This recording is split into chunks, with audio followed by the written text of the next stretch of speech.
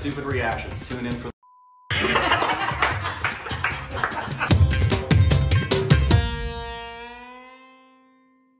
Hey, welcome back People- to our Jupiter X It's Corbin.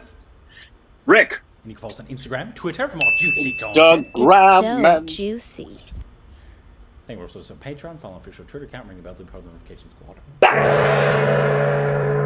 Today, uh, we are reacting to a little video uh, to um pay tribute to uh, the wonderful uh, life of Irfan Khan. Uh, because he's wonderful and we love him. But uh, our subbers sub this for us. Thank you, subbers. Uh, Thank you, subbers. Sub. This is called Asian Paints. And then it's a Hindi word. Hargar kuch kehta hai. Exactly. Uh, Pretty good. Thanks. Uh, but this is the title translates to Every House Has a Story to Tell. Host uh, Vinny Pathak takes a very celebrities back to the houses they lived during their childhood. This is Irfan Khan. Uh, and he takes us back to his childhood home in Rajasthan, Jaipur. And Ah, cool. um, uh, three, two, one.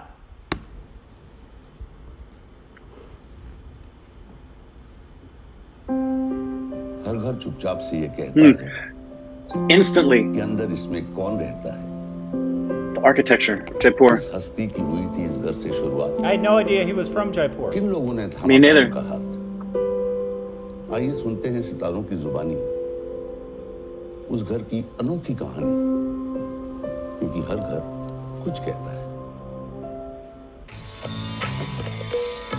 Ha.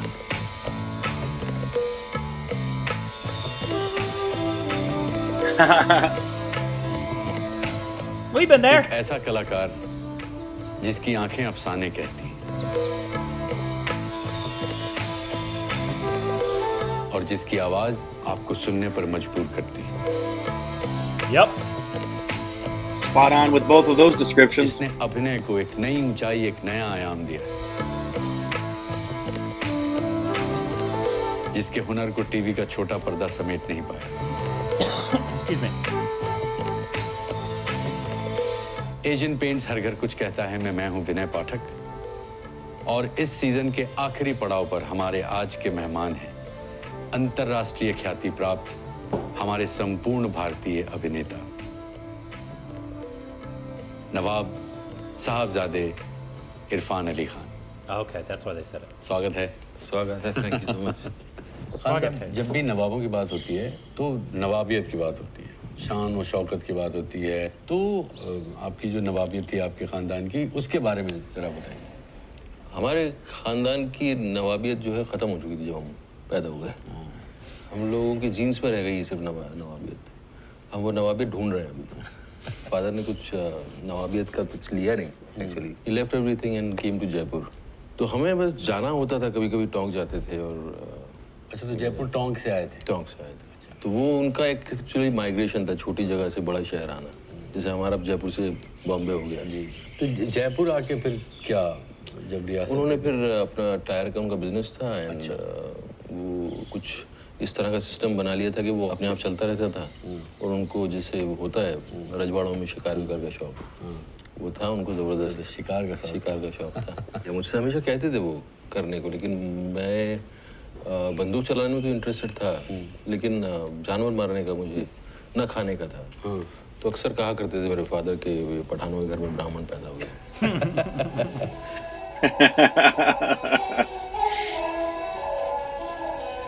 ये तो बहुत ही कमाल का दृश्य है खान साहब। हाँ ये है पुराना जयपुर। ये ऐसा किला है जो जयपुर के हर कोने से दिखता है।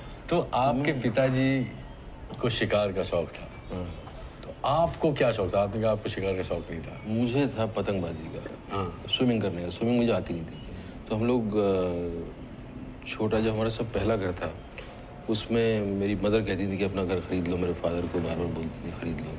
तो हमें अंदाज़ा था कि वहाँ जो है स्विमिंग पूल भी होगा। घर के पास। तो स्विमिंग पूल होगा तब होगा लेकिन हम लोग वहीं हवा में तैरने की कोशिश यू नो प्रैक्टिस किया करते छोटे घर में। हवा में ऐसे ऐसे ऐसे ऐसे।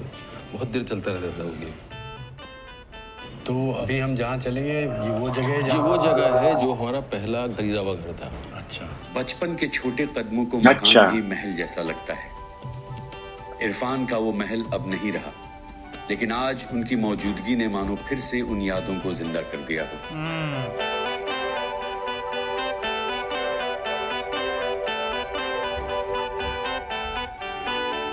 जब हम यहाँ आए थे तब मतलब ये ऊपर कुछ नहीं दिखता था। सब आई लाइन में। था मतलब ये बड़ी बड़ी बिल्डिंग कुछ भी नहीं था आगे। यहाँ से वो पहाड़ दिखता था यहाँ से उनकी छत का एंड दिखता था। हाँ। मेरी ज़्यादा सा मेमोरी He नहीं so loved, man. खेलना कूदना अफेयर होना आई स्पाई खेलना आई स्पाई में जो है जो लड़कियों के साथ खड़े होना वही अफेयर हुआ करता था। पतंग की सारी यादें भी यहीं की पतंग की सारी यादें यहीं की हैं। अभी भी कुछ उड़ रही थी। और इस धूप के अंदर हम पतंग उड़ाए थे उड़ रही हैं।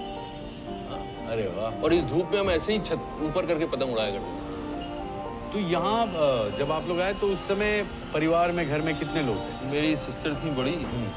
दो छोटे भाई थे मदर एंड फादर सिस्टर की शादी भी यहीं हुई। अच्छा। फादर की डेथ भी यहीं हुई। मैंने एक्टर बनने का सपना भी यहाँ देखा।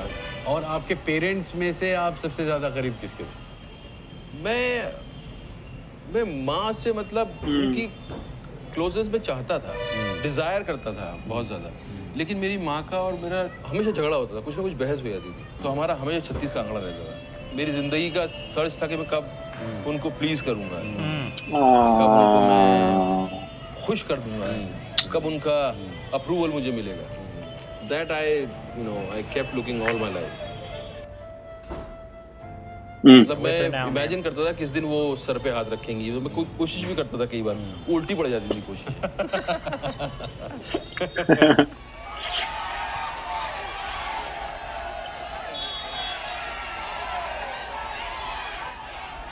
घर में आप लाडले किसके थे सबसे ज़्यादा? मैं एक्चुअली अपनी नानी से मुझे बहुत लगाव था और नानी मुझे बहुत मोहब्बत करती थी। उनका सबसे लाडला। तो नानी साथ में रहती थी? नानी थी टोंक में। मेरी बचपन की बहुत यादें हैं वहाँ से टोंक चल सकते हैं टोंक चलेंगे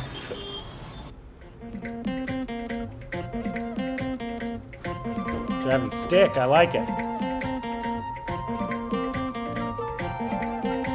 जयपुर में अगर इरफान का बचपन गुजरा है तो टोंक में उसकी आज़ादी इरफान के नानी का घर टोंक जहाँ आज भी ये खींचे चले आते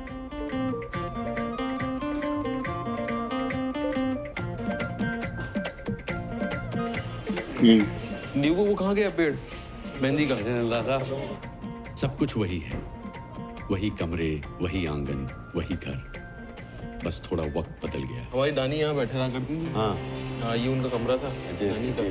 हाँ। और ये पीछे वाला सेक्शन जो है ये सबसे पुराना। सबसे पुराना। ये बंद है इसमें चलते हैं।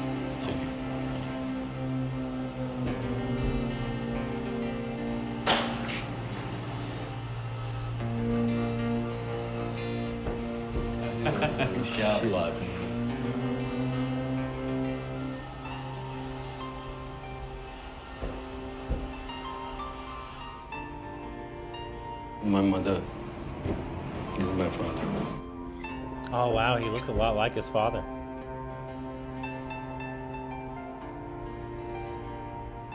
This is my sister. ये यहीं का है यहाँ ये भी पास हाँ इस तरफ़ इनकी तो शक्ल बिल्कुल नहीं बदली ये नानी है मेरी। हमें जब कपड़े खरीदने ले जाया जाता था तो सबसे एम्बेरसिंग तो वो होता एक ही थान में सारे एक ही थान ये देखो सब एक थान की। और हमारी कटिंग भी ऐसी होती थी कि मतलब बालों की। हाँ वो क्या करता है कटोरा कट होता है हाँ। यहाँ सब जगह से गायब सिर्फ़ यहाँ एक।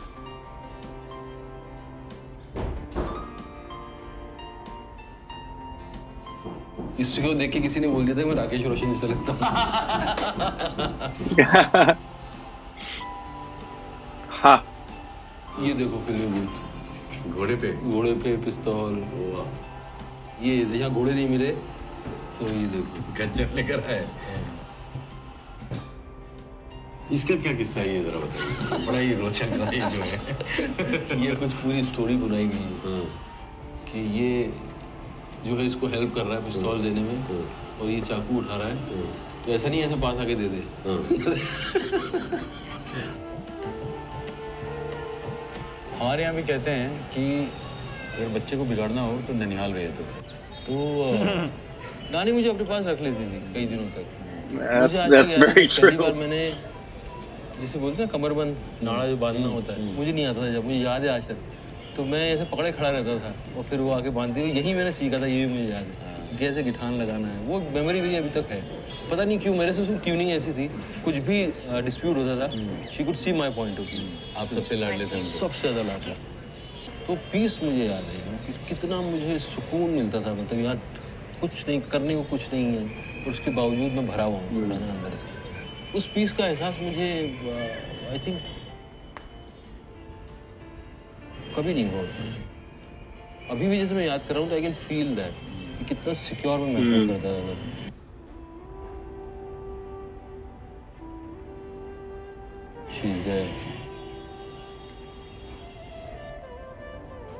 इरफान को नानी बड़ी हिफाजत से रखती थी। उनकी हर इच्छा को पूरा करती थी।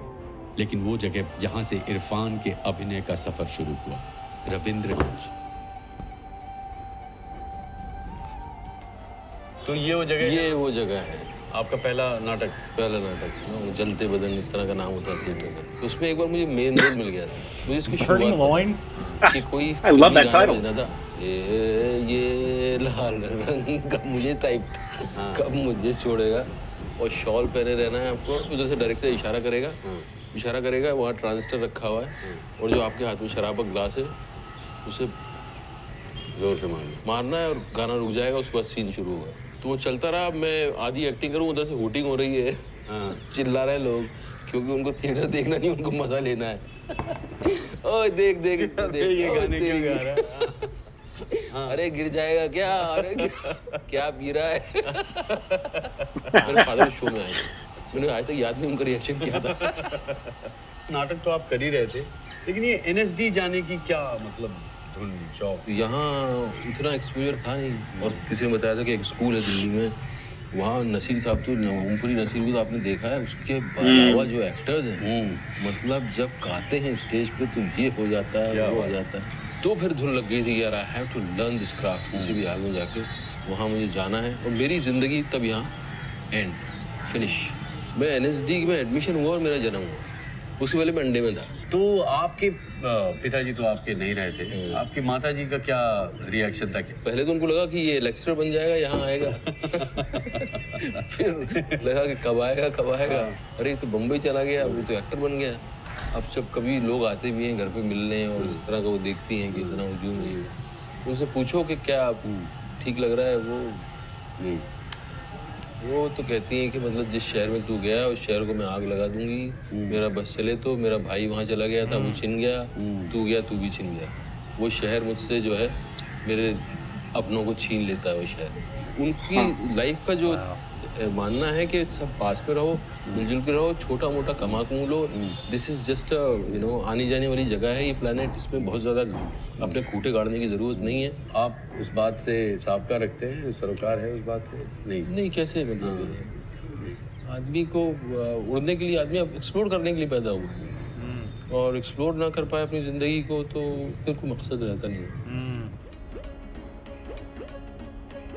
इरफान आज वक्त की सुइयों को उल्टा घुमाने निकले।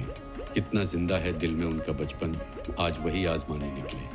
पतंगबाजी का मुझे शौक था बहुत ज़्यादा जब भी मौका मिलता है। Wow, look at his smile. he does love flying kites. सामने कोई कॉम्पीट करने वाला होना चाहिए। अकेले उड़ाने का मज़ा नहीं। तो लड़ती और कटती है तो उसका जो मज़ा है वो खाली उड़ाने का मज़ा नहीं वो एक काय पहुँचे? अभी भी मेरा उतना ही ताज़ा है जितना बचपन में। बचपन के घर के छत से उड़ी जो पतंग आसमान में नए आयाम ढूँढने निकली थी वो आज भी ऊपर है आसमान में। नई ऊंचाइयाँ छूती हुई नए कीर्तिमान बनाती हुई। और नवाब साहबजादे इरफान अली खान के लिए उस आसमान की कोई सीमा नहीं। एशियन पेंट्स हर घर कुछ कहता है मैं मैं विनय पाठक। आपको अलविदा कहता हूँ और अगले साल नए सीजन में कई रोचक कहानियों का वादा भी तब तक के लिए खमागणी People just walking by, and Irfan Khan is there flying a I know, kite. flying a kite. Great job, uh, Amruta, Rohan, and Ria. Yeah. that Thank you was- for subbing that. That was great. That was it was wonderful and it, a lot of insight into how that man thinks and and what's important to him. Um, Yeah. Yeah. He. Uh, I w- it would have been such a pleasure to talk to the man because he's Oh. so he's such an authentic person. hmm Uh, and I still can't like talk about him in the past tense. It's just it's it's it's hard for me. Uh, like, like I'm like I'm with you. I would love to talk to him.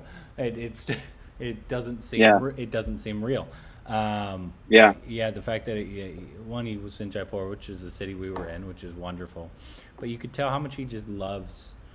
Um, just like Shah Rukh Khan, he, he he loves his fans hmm and he loved what he did. And there's, it's evident from all the stories that I've heard, like celebrities who knew him were telling. Um, like the people from AIB, I don't know if you saw their thing. They said when he No, I was- didn't. when he was on um, set to do um, the the video, uh, the Bollywood, uh, whatever song he did with AIB. Remember that one? yeah, the Um, funny one. yeah, he said um, that they had it was he just came from a big budget movie. I forget which one it was, Mm-hmm. and he came there, and they had no budget. He didn't. They didn't have a trailer for him, but he treated it like it was the biggest budget thing, and with the mo. They said he treated it with such like.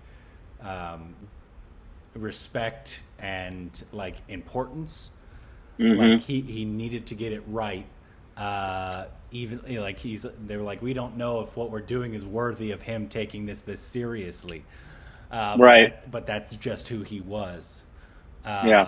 everything he did he did 110% and he did it authentically and that's just that's who he was Yeah, and he, he- um, you can see in his work, and you could also see there, and some of it was revealed, I think, in his sharing some of his personal life. That one of the most intriguing things about Irfan is the expressiveness in his eyes and behind his eyes, and he always had within the back of his emotional um, pool. Um, I felt um, quite a deep, as most artists do, a deep reservoir of pain. yeah Uh, and I find it very interesting uh, that he passed away a matter of just a few days after his mom. Uh, it's very interesting. Um, how important and I, yeah, I, I, I, and I'm sure, I'm sure she always was. Um, and it, wouldn't, it doesn't surprise me in terms of we don't know the depths to which he was struggling in terms of his health, but when you're battling what he battling, it's it's it's a struggle, and I'm it would not surprise me if the knowledge of his mom going. Uh, I, he said it himself in this video. The purpose of his life was for her to say, "Well done, son." you know, and uh, I just this did you? I also noticed right at the very beginning and throughout he reminded me a lot of the way um, Nawazuddin was with us in terms of he was giving this man he was talking to. There was nothing else in the world going on at that moment but this man he was talking to. yeah He gave him his full, undivided attention, had nowhere else to go, and was fully open to anything and everything they were doing, which is the most important thing for any actor is to be fully invested in the moment. Be in the moment. And it, it, it's that there's no separation between the artist and the art in terms of you see by his interactions and what we've heard from people who've worked with him and known him, the reason he was such a great actor is because he was a great man. yep Uh, man, I just really, really, really sucks. But to f- accentuate on the positive, I, I encourage everybody we're doing this is to to not focus so much on the fact that he has left us, but to focus on what he has left us. yeah Yeah, yeah the, uh, he lives on through his art and always will he sure does, and always will. And I feel I don't know about you, I have a renewed sense of the world, especially here in America and the Western world, too few people still do not know the greatness of some of the artistry that has come out of India and the greatness of an artist named Irfan Khan. There's too many people here who didn't and should have, and it's they're just like us. They're just ignorant. They just don't know. But I feel a renewed sense to preach the gospel of Irfan Khan to people and say, you guys, you guys need to know there was a contributor to this art form, the likes of which we'll never see again. Yeah. Keep calm Yep. and preach the gospel of Irfan Khan.